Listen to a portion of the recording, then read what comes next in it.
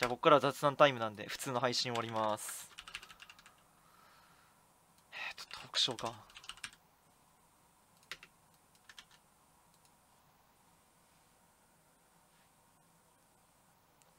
ボット打ちの時間です。楽しかったよ。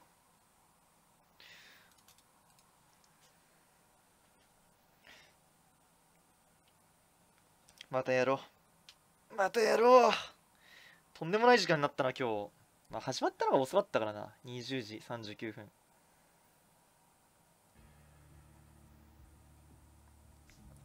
やだよ。研究とかしないよ。そこまでガチじゃないもん。そんなガチじゃないもん。だって人にトレーサーやっていけるとこまでいけたらいいかなって感じ。とりあえず面白かったね。めっちゃ。オーバーウォッチ。そこまでのやる気はないわ。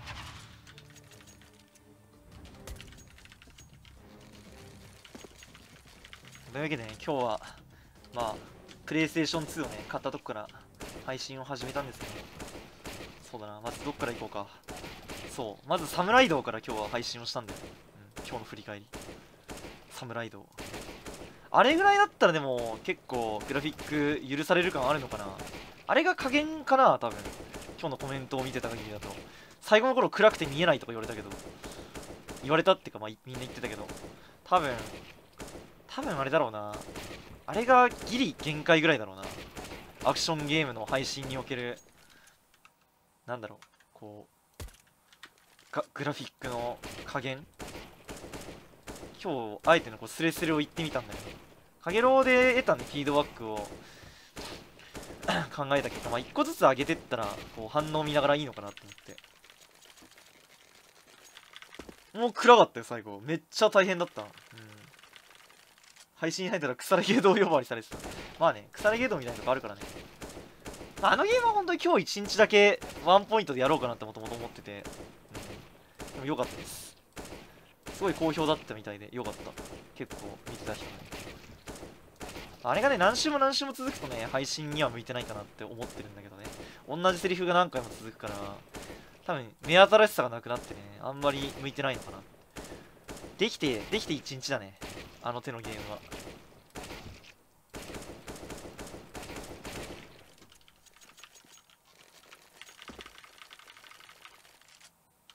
キノコ食うだけの腐れけど他のゲーム何買ってきたの？他のゲームは特にあれですよ。あのなんだっけあの1個だけ買ってきただけですねツイッターで言った。なんだっけあのあのゲーム。なんか1つだけ他のゲームが180円とか高くても900円なのに1本だけ2500円のゲームがあってそれを買ってきましたやんなかったけど結局。またそれも1日使ってどっかでなんか何もやることがない時やりたいかな。アウロはね気づいたら気づいたらね消えてたからね。物語からフェードアウトしてる。彼がどうなったのかはその後知る者はいい。ああいうゲームはね、うん、1日で良さそう。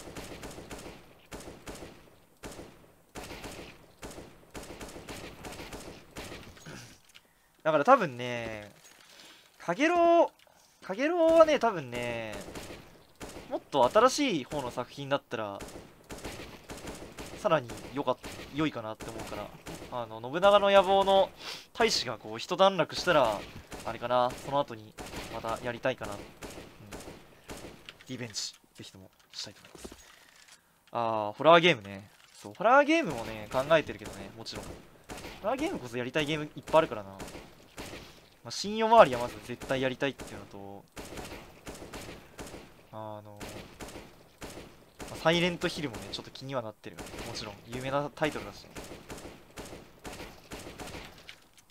まあ、あとはね、これはもうね、今から予告しておくんですけど、まあ、アクション、シミュレーションアクションってきて、まあ、もう一回シミュレーション戻って、あの、信長の野望でね、シミュレーションに戻るんだけど、その後また、まあ、さっき言ったかげろうのリベンジをします。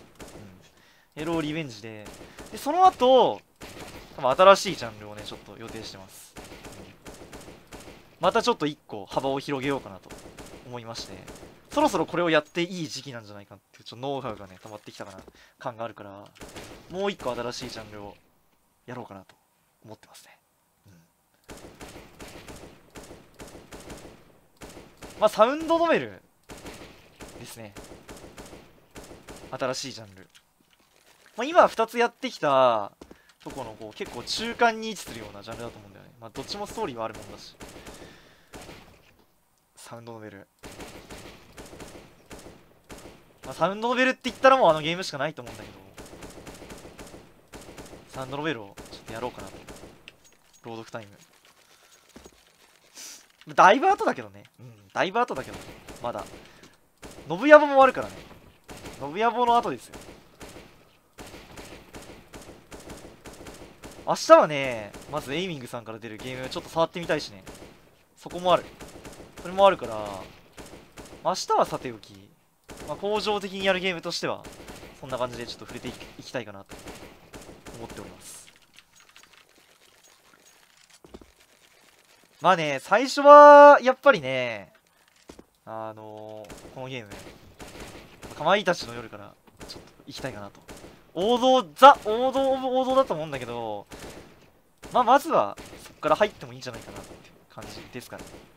サウンドノベルなんでまあまた配信的にはどうなるか全くわからないんですけどもちょっと感触見ながらやれればなって実験作みたいな感じでまずはやってみたいですね。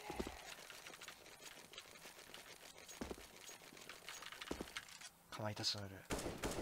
まずはそこですかね、まあ、あとは前から言ってる RPG もねちょっとアクションのアクションゲームでのその評判とかをちょっと見つつどのぐらいまでのグラフィックが許容できるのかっていうのをちょっと見ながらねタイトルを決めようと思ってます、うん、RPG はやっぱり長くなるから基本的にそこをどうしようかなと思ってる、うん、話がねやっぱ追えなくなっちゃう人がいるから多分続けば続くほど、まあ、しょうがないのかもしれないけど、まあ、一応アーカイブもね残していく予定ではあるんだけど。そうっすね。やっぱ追えなくなるっていうところが怖いので。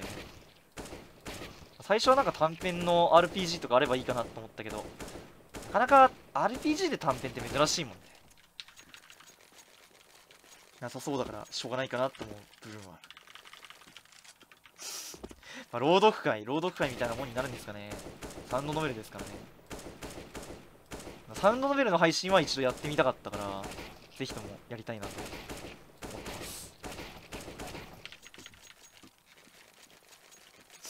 穏やかな時は結構癒しいつも穏やかだけどね、オーバーウォッチやってる時とかも、すごい今日穏やかじゃなかった、声。こんなに穏やかな人っているんだって思うぐらい穏やかじゃなかった。そうでもなかったからわからないけど、俺的には自分のことはね穏やかな心を持った挑戦者と思ってるんだけどね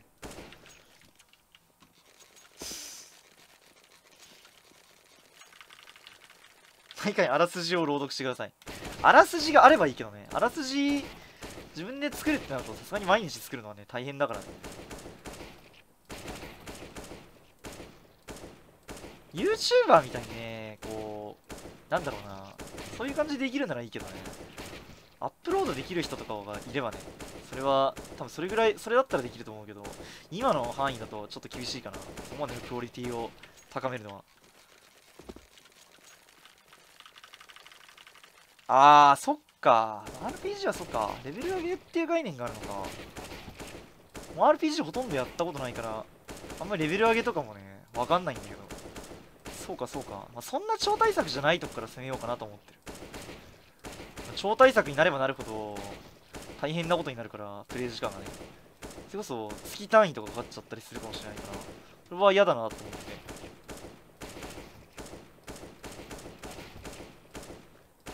まあちょっとタイトル考えようかなと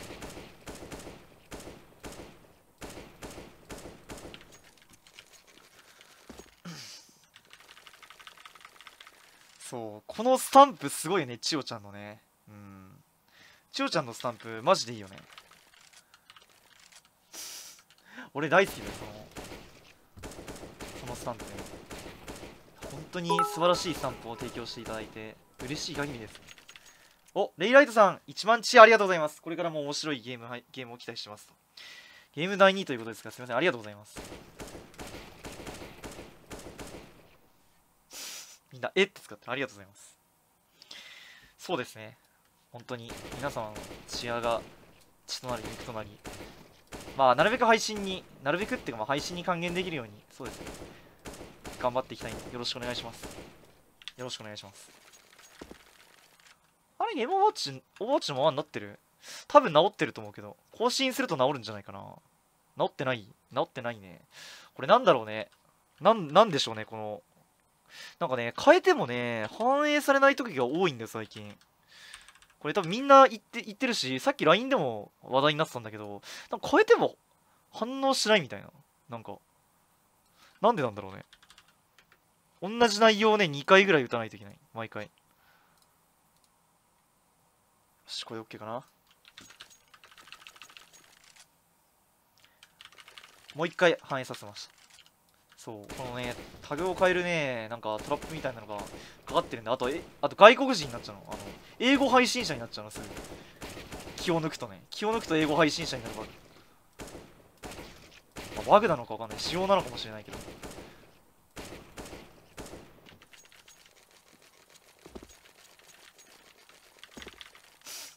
や苦情苦情？苦情？苦情とまではいかなくてもいいんじゃないですか。なんかこういうのありましたよみたいな感じで送るのがフィッツさん的にもねそんな思いっきり「お前これ変えろよ!」って言われるよりはこういう風にこういう風になってるんですけどこういうのって治治りますかみたいな感じの方が喜んで対応できるし治ったらみんな嬉しいしウィンウィンよね。誰も嫌な気持ちにならないし。誰も嫌な気持ちにならないって重要だよね。すごく。すごく重要なことだと思う。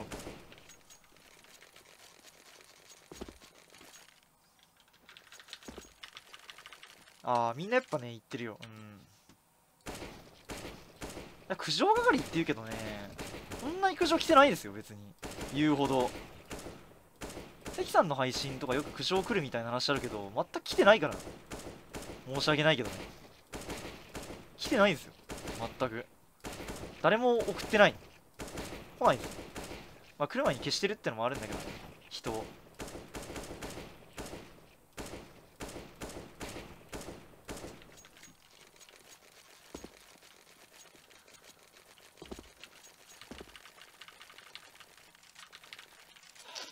消してるから消し続けてるからね。送る人もそのうちいなくなった。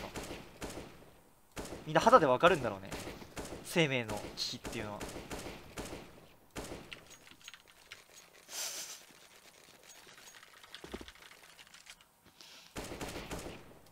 まあというわけでそうですねまあ他のゲームに関してはそんな感じでちょっと方を進めていこうかなと思ってますでえっとね今、パブ G とオーバーウォッチをやってる枠があるじゃないですか。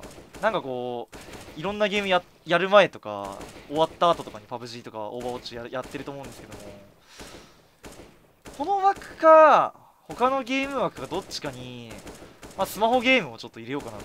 かねてよりね、iPad を買ったわけじゃないですか。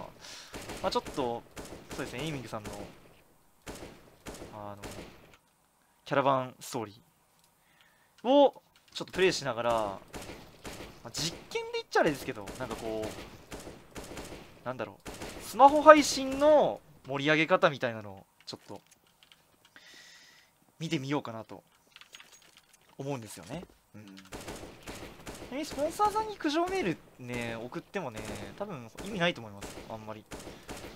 あんまり意味ないと思います。わかんない。送られたことがないのかもしれないけど、そういう苦情ね。あの今までそういった話は僕らのところに入ったことないですね、もしくはスポンサーさんが消してるかどっちか人をね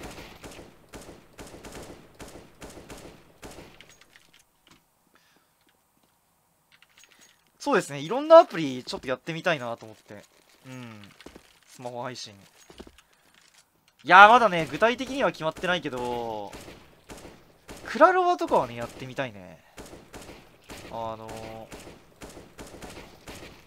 ー、なんか、スミスさん、あー、スミスさんか。いまあいいや。スミスさんいるじゃないですか。スミさんと、なんか、スミさんに聞いたんですよ。なんか、スマホゲームとか知ってそうだったからさ、なんか、おすすめのタイトルないみたいな。ないですか?話をしたら、まあ、クラロワとかいいんじゃないみたいな。すごいいいよみたいな感じで言われたから、ちょちょっとやってみたいなっていうのもあるしもちろんエイミングさんの作品も単純に気になるじゃん、うん、自分のとこを支えてくださってる会社がこうどういう感じなのかなみたいなどういうゲームを作るのかなってのはすごく気になるから単純にプレイしてみたかった。そういうちょっと幅を出すためにも iPad を買ったんだけど。そうそうそうそうそうそう。だから多分最初はまたノウハウゼロだからスマホ配信もね盛り上げ方とかわからないと思うけどちょっとうまくねこうやり方見つけながらやっていこうかなと思ってます。はい。そんな感じですかね。まあ、どれぐらいが許容されてどれぐらいが許容されないのかとか、まあ、そういう敷居みたいな敷地みたいなのがあるからねやっぱ。見極めていきたいよ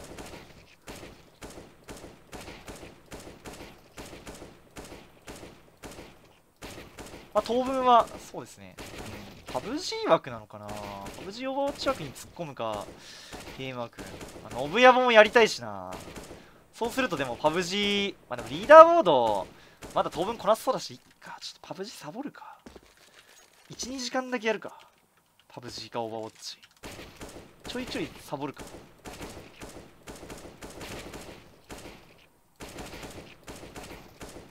パブ G もちょやんないとガンガン下手くそになっていくからな。どっちも。スプラとかもそうだけど。両立できないんだよねなかなか。難しいよね。3000 3000とかさでいいなら多分維持できるけど。それ以上求められるとねやっぱり難しそうだよね。パブ G はマスターぐらいなら維持できそうだけどやらなくても。それ以上は厳しそうやらないと。ああ今日明日で公式に今週の予定が出らずないそれでを見ていからでもいい確かに。スプラはねスプラはねやらないと下手くそになっていくからな。もう下手くそになってると思うし。もう感覚みたいなのも飛んじゃってるからね。あんなに練習したけど。あ結局スプラあれだけやったけどこんなに誰も欲してなかったかなっていう。まあいややってほしいって人がいるいるのはね多分ねいるんだけどその比率があまりにも少なすぎてちょっとうーんって感じかな。多分いるにはいるんだけど1万人に1人ぐらいいると思うんだけどあんまりでも人がやっぱり元少数すぎるものはね一応配信というねみんなに対して提供してるものをやってる以上なかなか難しいとこなのかなって。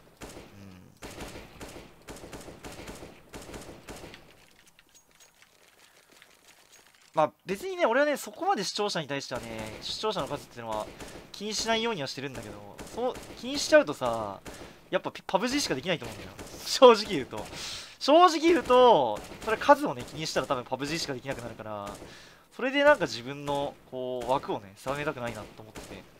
だから、だからそこまで気にしてないんだけど、あまりにもそれがね、行き過ぎるとね、もう完全なる自己満足になりかねないから、その程度は、うん、その程度はね、その程度には、そう、気を使ってる。小さい子の話はね、胸が痛くなるんで、やめてくださいね。うん。やめろいいの？ウォッチ、パブ G より多かった。いや、いや、多分そんなことないと思います。まあ、その人がね、誰が配信してるかとかにも左右されるもんなんですけど、どうなんでしょうね。多分そんな多くなかったと思いますよ。パブ G やってる時の方が多いかな、多分。うん干ではあるけど。まあ、あとはオーバーウォッチって物珍しさもあったんじゃないですかしばらくやってなかったし。そういうブーストみたいなのもあると思う。まあでもそんな細かいとこは気にしてなくて。う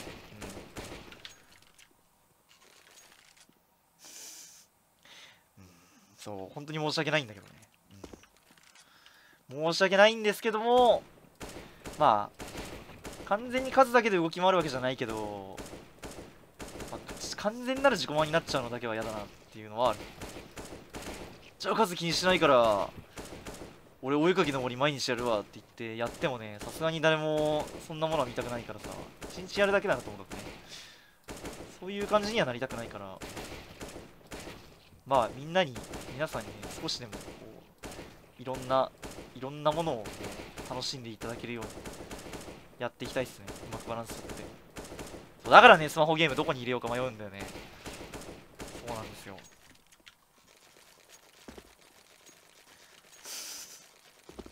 そうだよ。そうスプラはね実際200人ぐらいしか見てなかった。まあでもまあそれがねそこ見てていただいて本当にありがたかったですけどね。200、300でも。だいぶ嬉しかったけどね、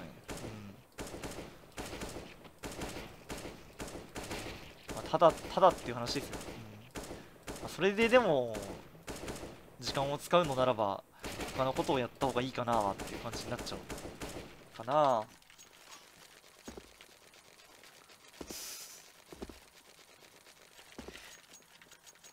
いやまああの頃はね時期も時期だよまだ。うん。俺俺らのことを知ってる人がねいなかった俺らって俺のことを知ってる人がまだ少なかったから。いやほんと200か300じゃなかったかな。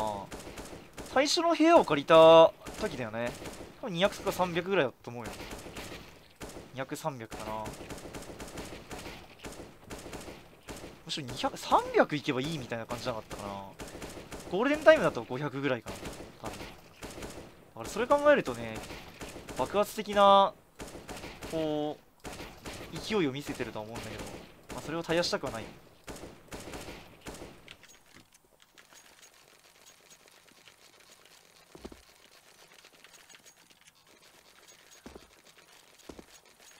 ラジオよりも人気がない。いやそもそも見てる人の数が少なかったかな。うん。オーバーウォッチやってても今この見てる人より少なかったですからね当時は。まあ、それはやっぱりねいろんなもろもろのねもろもろの理由があったとは思うんだけど。ギアさんの誕生日のプレゼントへの話は終わっちゃいましたか？ギアさんのプレゼントの話ってすることあるかな？送った内容については全然開示するけど。3つ贈り物してさ今年。去年はカイロを120個送ったんだけど。あ今年も同じでいいかなって思いはあったんだけどね。ただそれでもさすがにちょっと脳がないなと思って。ひとひねり加えて。あらかじめ高橋にねあの PS3 を持ってるって LINE で聞いといて。あ持ってるよって言って。了解っただけ返したんで、ね、そしたら高橋はえって言ったけどそっから、まあ、LINE の返事はしてないよ、うん、えって言ったとこで止めてるんだけどまあその PS3 のパチンコエヴァンゲリオンですよ、ソフト。パチンコエヴァンゲリオン。あと、カイロ。60個ぐらい。60個入りですかね。カイロと、あとは、あの、高級なおしゃぶりを送りました。すごい。めちゃめちゃ高級なおしゃぶりを送った。アマゾンの中ですごいこう目立って高いおしゃぶりがあったんで、それを送りましたね。やっぱこれだな。色合い的にいや、おめでとうが来なかったっていうか、あれなんですよ。俺はプレゼントで、あれですよ、あの、おめでとうっていう気持ちを伝えたつもりだったんですよね。あえてサプライズみたいな感じでね。おめでとうは言わないで。でも、サプライズすぎて、反応も返ってきてないんで、未だに。返ってきてない。何の反応もない。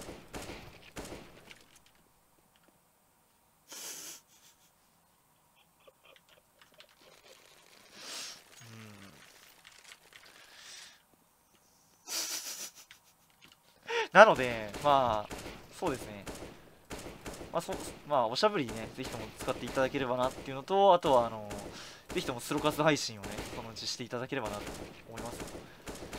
俺やっぱ、ギアさんさ、リアルのお金をほら、リアルのお金突っ込んじゃうから、すぐスロット余ると、打ちてえなーとか言い出すから、北海道の時もスロヤった時だって、打ちてえなーって言ってたから、これはダメだなと思って、このままじゃまずい。このままじゃ高橋がまずいって思ったから、このままそのいつでもパチンコを打てるようにね、しかもエヴァンゲリオンですよ。大彼の大好きな。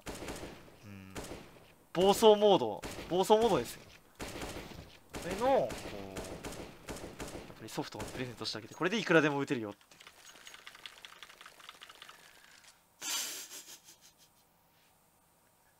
名前はあるよ。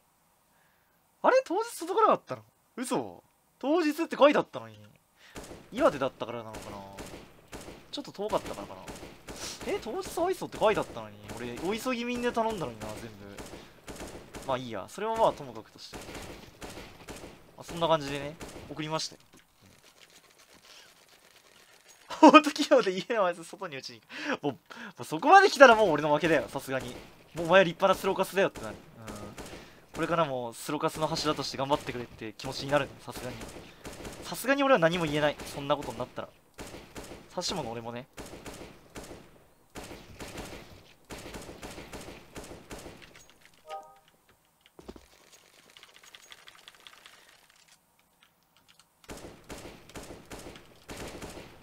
そんな感じですよ。たあのー、プレゼン誕生日プレゼントの話は。そんな面白い話じゃないですうん。大丈夫。そんな別に突拍子もない話でもないですいつも通りの感じですよ、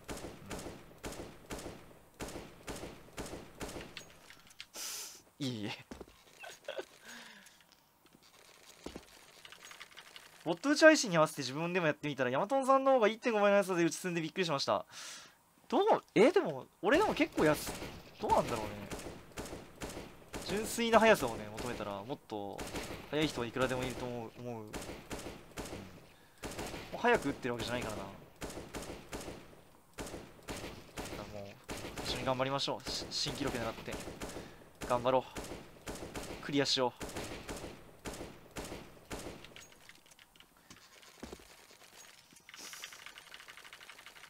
やばいなんかなんかやばいなんかいろんな人が来たぞ待って。なんで？トークショーにしたのに今日。どうしてなんだ？どうしてこんなことになってしまうんだ？また争いが起きてしまうのか。うーってうーって言ってるしな。まずいぞ。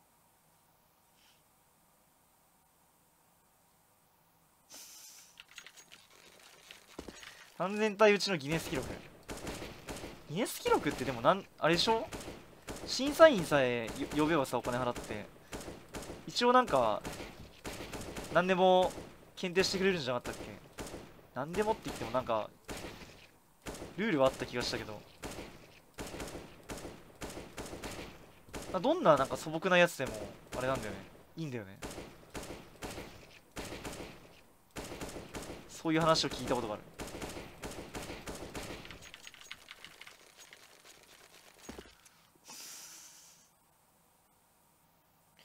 別用語使ってるな許せんなもう消されてますわ。誰かが剣を振るってくれてありがとう。あそうですね。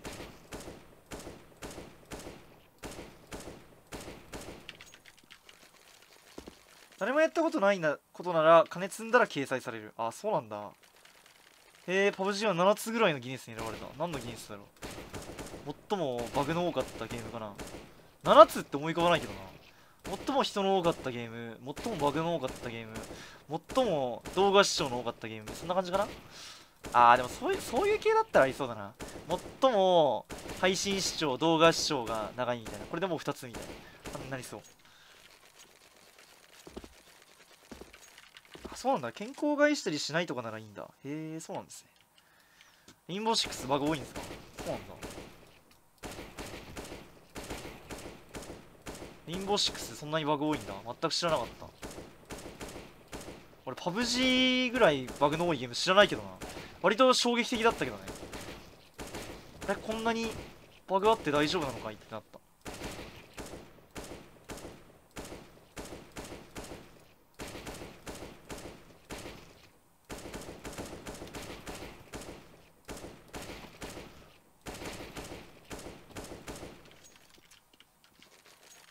あ最も呼び名で争いが多かったゲーム。へえ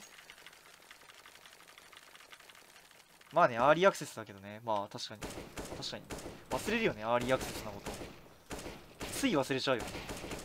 でもあのバグ含めていいよね。パブ G って正直。あのバグがなかったらここまで流行ってなかった気がする。正直ねバグがあってめっちゃ面白その笑いが取れるから結構やってたみたいな。とこから始まったブームだと思うけどな、重要よね。そういうのね。お Steam アリーアクセス史上最速で100万本売れたゲーム16日で達成 Steam アリーアクセス史上 最速で総利益100億円の売り上げを達成したゲーム79日で Steam 上で初めて同時 やばいね。へえバルブ製のゲーム。はあ非バルブ製のゲームで一番人が多いと。そうなんだ。全部アーリーアクセスなんだね。じゃあこれもしかしてさアーリーアクセスが終わったら2倍になるってこと？14個になる。ギネス記録マンじゃん。すごいななんか。あのあれ思い出したわ化粧品。なんとかランキングナンバーワンみたいな。化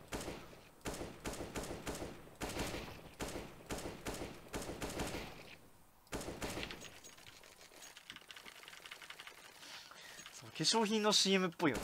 そんなにたくさんあれなんだ。ギネスに乗ってんだ。それはすごいなでも。マジヤバですね。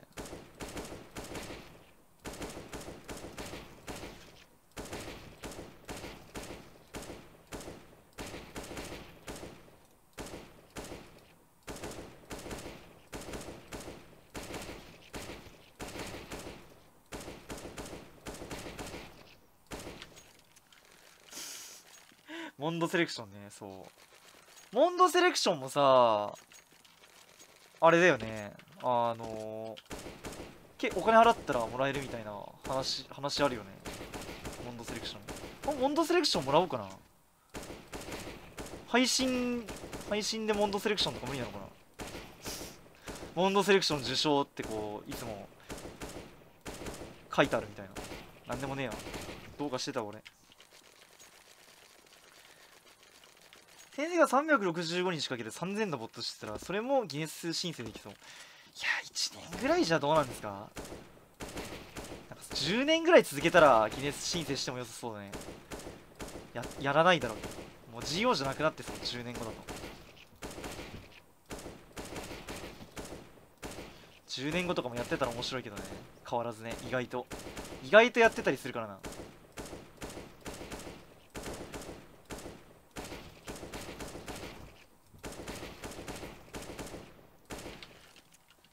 37歳ぐらいでさまだあれでしょ？ときめきメモリアルやってんでしょ？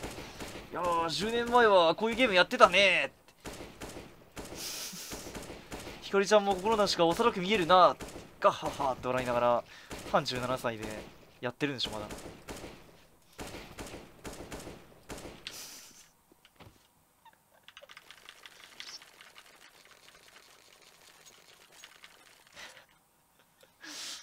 まあまあ残酷だよね。すごい。時は残酷だよね。正直ね。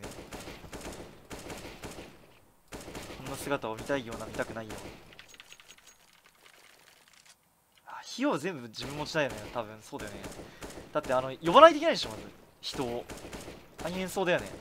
人呼ぶだけでも移動費だけでもすごい大変そう。日本とか特に。めっちゃ飛行機代とかかかりそう。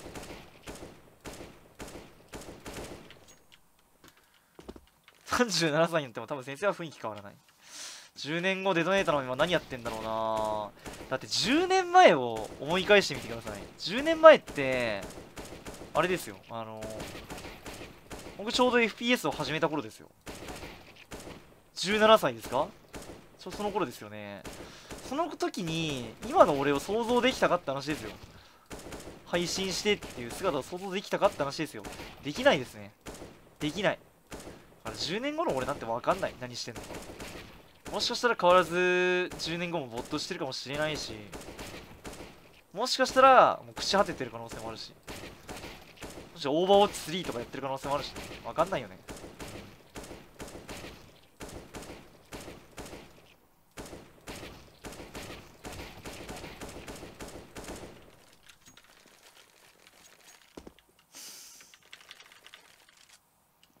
そこれからも楽しみですよ。そう10年人も10年経ったらもう別人みたいなとこありますからね本当に。あの頃生きてた僕はもういないんですよ、うん、生きり散らしてた僕はもういないんですよ。10年後はもしかしたら逆に生きり散らしてるかもしれない。逆にね。めっちゃ肌黒くなって生きり散らしてるかもしれない。どっかで何かがあって。そういうのちょっと覗いてみたいって思うけどねたまに。パカってパカってこう次元が割れて10年後とかをちょっと覗いてみたい。そのす3秒ぐらいね。3秒ぐらい覗いてみたい。で疑問に思いたい。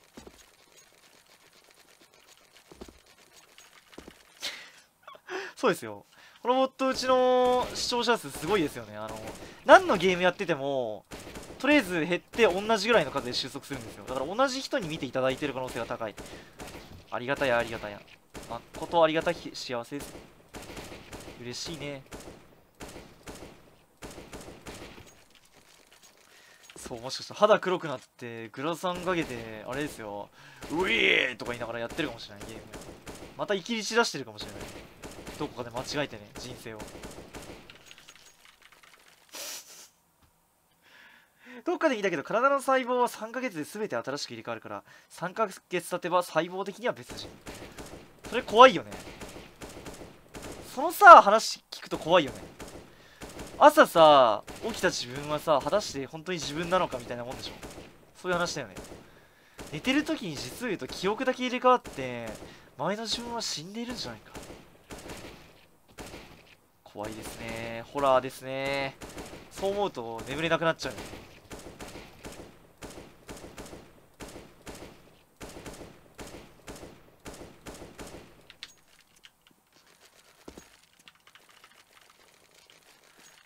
哲学ですよ。怖いですよ。本当の自分とは何なんだろうみたいな。自分というのは人間を形成するペルソナからなるものなのかもしれない。他人から見た自分は自分ではないのかもしれない。あの飛んでいる蝶は私なのだろうか。それは違えわ。それは違うわ。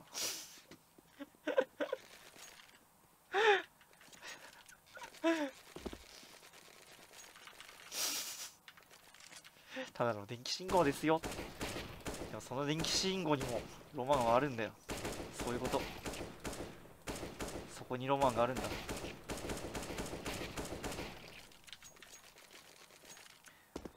そうね。ここが機動隊はそんな感じだよね。あれだって体をね完全に乗り換えてるじゃないですか。草薙素子とかも。ね。哲学公園に切り始めた。まあねそうだよね。秘伝のタレみたいなもんなんだよなそう人間って。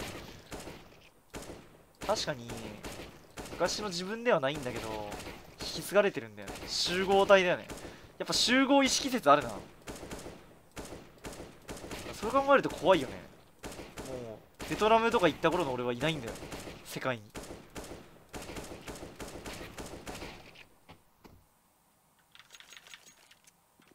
ゴーストがささささやくのよ。懐かしいな。高架機動隊。高架機動隊の FPS や,、ね、やるときにね。高架機動隊めちゃめちゃあれだな。見たな。一瞬ほんと一瞬だったけどやってたの。ででもあれだね。アニメ見たわ。ラッフィングマン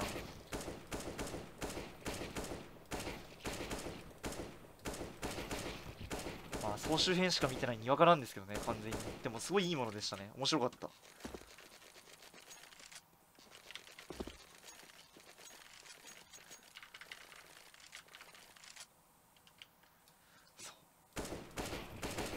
もしかしたらさっきなんか高橋と同じことを言ってるって言ってた人いたけど俺と高橋を司るなんかこう集合思念体みたいなのがあるんじゃないかと思うんだよね。そいつがいつが多分俺らに命令を下してるんですよ。同じ人なんですよ命令下してるの。だからこう自然と似通ってくるのかなみたいな。なんでもねえわ。俺が悪かった。よそういう話じゃない。か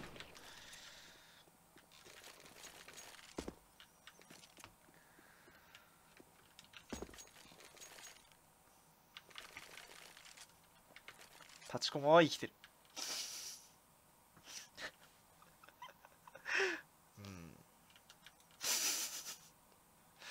いやだからあれですよあの大きな集合意識はあるんだけど、まあ、個体ではあるから細部は違うんですよもちろん。細部は違うんだけどそういうあれだよね。こう大枠みたいなのがこう似通ってくるみたいなさ。わかる？俺が言いたいのはそういうこと。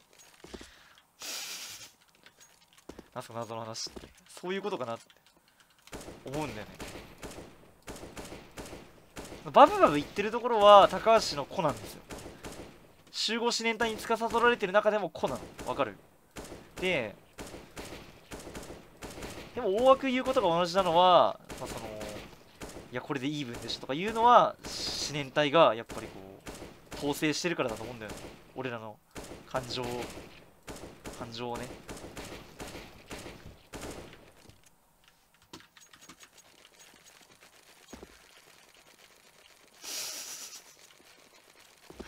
残業帰りの初見です。どうも。はじめまして。まさかこの配信から初めて見る方がね存在するとは思ってなかったです。そうですね。僕は大きな集合思念体に操られている村人 A ってとこですかね。はは。そう思念体が間違えてそう間違えちゃったら俺もバブを言い始めるから。なんかそういう話なかった？あのジャンプで連載してたメダカボックスっていうあの漫画があるんですけどこれね俺とネルさんがめちゃめちゃ大好きで、毎週ねあのその内容をこう2人でね話したりだとか東京に来た時は、ね、一緒に見たりしてたんですけど、まあ、それはまあそんな話は置いといて、まあ、それでもあったんですよなんかこう。一つのこう思念体が大枠を決めるんだけどその中でも個を持つ生命体をがいいみたいな。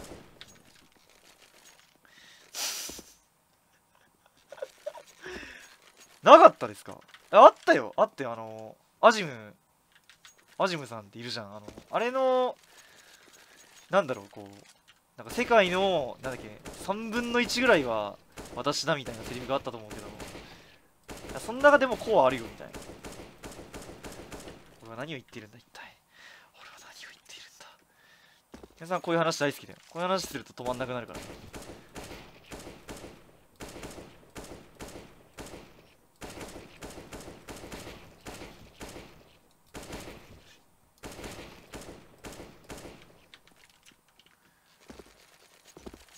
メダカボックス。懐かしいね。懐かしかったな。あなんでボット打ちやってるんですか？あれですね。僕のナイトボットの出番ですか？これ。なんだっけ？あ来た！ナイス！赤ボスさんありがとうございます。ボット打ちの理由はシューティングゲームをやっていないだけでもエイムを衰えさせなくするためです。CSGO はあくまでボット打ちのツールとして使用しているので他のモードをやる予定は全くありません。現場からは以上です。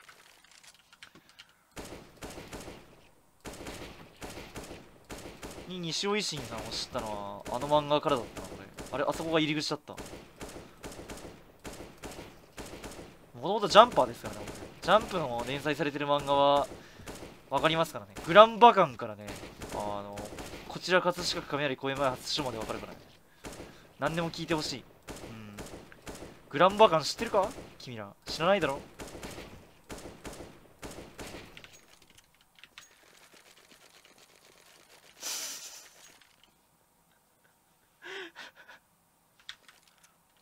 フープメンね。懐かしいねフープメンフープメンはあれですね。バスケの漫画ですよね。俺今フープメンって言ったけど頭の中ではプーヤンが浮かんでたもん今。危なかったね。にわか判定されるとこだった今。危なかった。なぜか頭の中がプーヤンのあの主人公の顔がパッて浮かんでたけど全然違かった。はってなって治った。ネイルは大好きですよ僕は。松井先生の作品は大好きです。よネルも暗殺教室も大好きです元祖ジャンパーですから本当に。今週のネバランの新展開どう思いますかまあめたいことを言うとね最近あんまりなんだろうなんかこう前みたいな山場っていうか盛り上がりどころがあんまりなかったから逆に心機一転ねいいのかなって思ってる、すごいパンチ引いてて。いいかな今の展開。俺は好きだなかなり。ちょっと切り替え空気切り替えたのいいね。中だるみみたいな感じになってた。最近ね。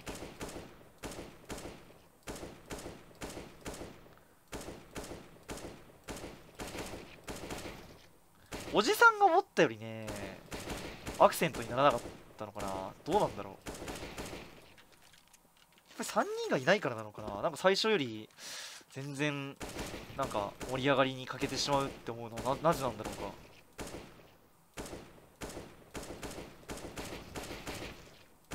か？あの孤児院の中にいた時がね一番盛り上がってたよね。サイレン僕も大好きですよ。いやサイレン僕めっちゃ大好きですよ言っとくけど。西林天才！だよね確か。めちゃめちゃサイレン俺好きだ好きだったわ。最初はあれ？ガンツのパクリかなと思ったけど。めちゃめちゃ好きですまあただちょっと巻きで終わっちゃったのがね惜しまれるよね正直。多分打ち切り打ち切りだったのかわからないけど。やや巻き気味で、ね、最後うん。終わっちゃったからな。サイレンも良かったね。ワードリはまだ再開しないんですね。大好きなんだけどねワールドトリガーも。ちょうどあれだよね次のランク戦行くとこで終わったんだよね。か嫌な胸騒ぎがするみたいなとこで終わった覚えがある。おさめが言ってたとこで終わった覚えがあるな。そのさんの中でジャンプ黄金期といえばいつ？これはでも世代によるんじゃないですか？多分。俺の中の黄金期はいつだろうな。でもなんかずっとジャンプ読んでるからあんま黄金期とか感じないかもな。どうなんだろう。あんまないかな。黄金期か。今も昔も好きだからね結構。作品がね。あとあんま時系列覚えてないな。何が連載されてた時これがやってたみたいな。相関図みたいなのがわからないけど。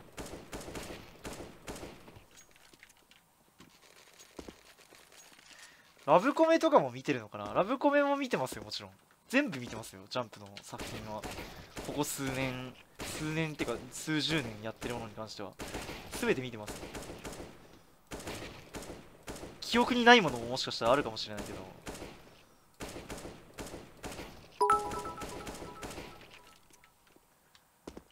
僕 M0 とか大好きでしたね。あれも途中で終わっちゃったけど。あれは打ち切りじゃなくて作者の人が詰まっちゃったらしくて終わっちゃったんだけど。M0 めっちゃ良かったなまたやってほしい。ラブコメで思い出したけど。あれ、ラブコメなのかパンケンドさん、260、260? チアありがとうございます。今週のジャンプ台です。ありがとうございます。M0。僕、電子書籍でもう毎週自動購入になってるんで、あの気づくと入ってるっていう。ジャンプラに入ってる。昔は買ってましたけどね、ずっと。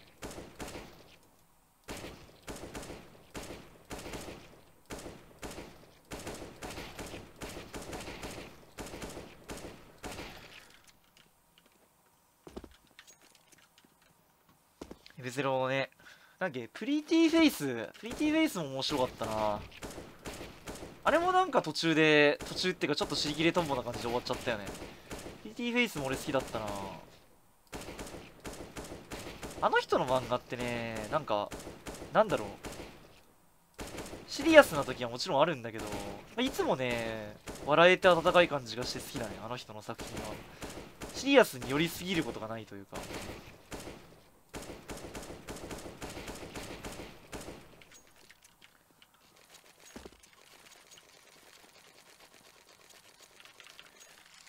ガチですよ、うん、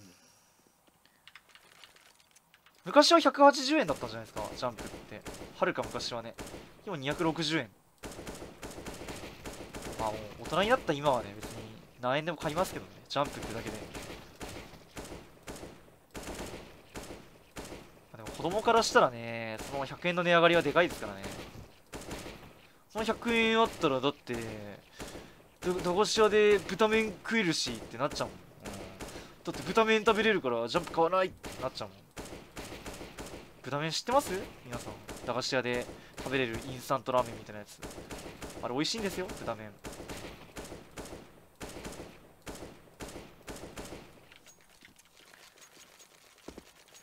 全部わかりますよ。ポルタも高谷も継ぎはぎもザンもわかりますよ。うん。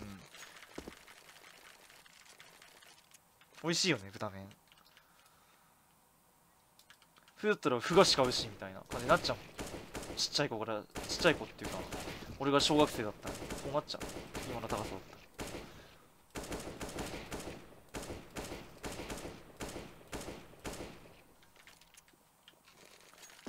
あー今の時代駄菓子屋じゃないんだね、まあ、俺ん時も駄菓子屋ギリギリだったけどね。正直。学校の近くに偶然駄菓子屋があったからって感じだったな。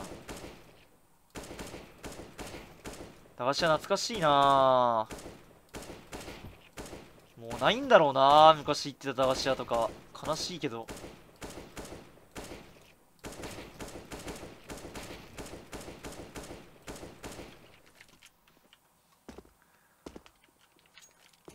そうホームランバットね。そう。懐かしいな。あれなんかさなんか三塁打とかなんか書いてなかったあれ。うっすら覚えてるんだけど。ホームランとかなんか三塁打とかなんか書いてあった覚えがある。100円で何買うかね。そう超計算してたね。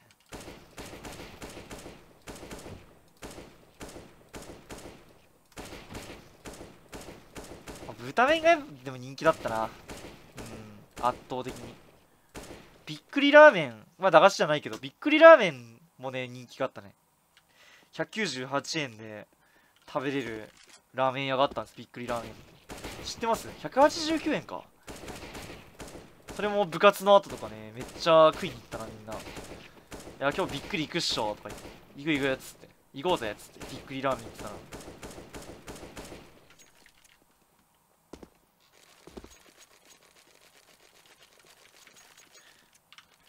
ベビースター。ベビースターでもうち人気なかったね。なんか満足感がない。食べた時の。なんかあのボリューム感でねふ菓子がね結構なぜか人気があった。ふ菓子あの太いやつ。安いしボリューム感があるからこれ買うと得した気分になれるみたいな感じで結構ふ菓子が人気あったね。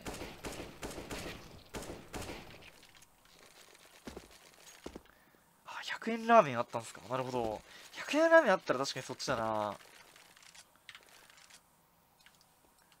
かば焼きさんね。えさん美味しいよね。あとあのカツのやつ。知ってるあのカツのさソースがかかってるさあの超細いやつ。あのペラペラの。あれも人気あったね。やっぱ油があれ取れるからちょうど部活とかやってる子たちにはね大受けでさみんなめっちゃそうビッグカツか？ビッグカツうん。ビッグカツいいよね。ビッグカツよかったな。そうあれ美味しいよね。なんであんなに美味しいんだろうと思ってたもん。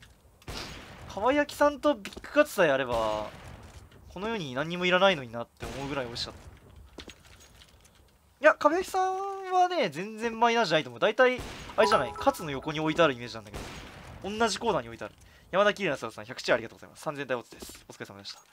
あもう23時なんですね。とんでもない時間だ。え？23時？は？23時？やばくね？は？嘘だろ？俺まだ9時ぐらいのつもりだったんだけどは？は？23時？つづらさん100シェアありがとうございます。深夜配信感謝します。ファルジンさん100シェアありがとうございます。これでお菓子買ってきなおばあちゃん風。赤メモさん300シェアありがとうございます。おばあちゃん配信楽しかったです。お疲れ様でしたやべえマジか。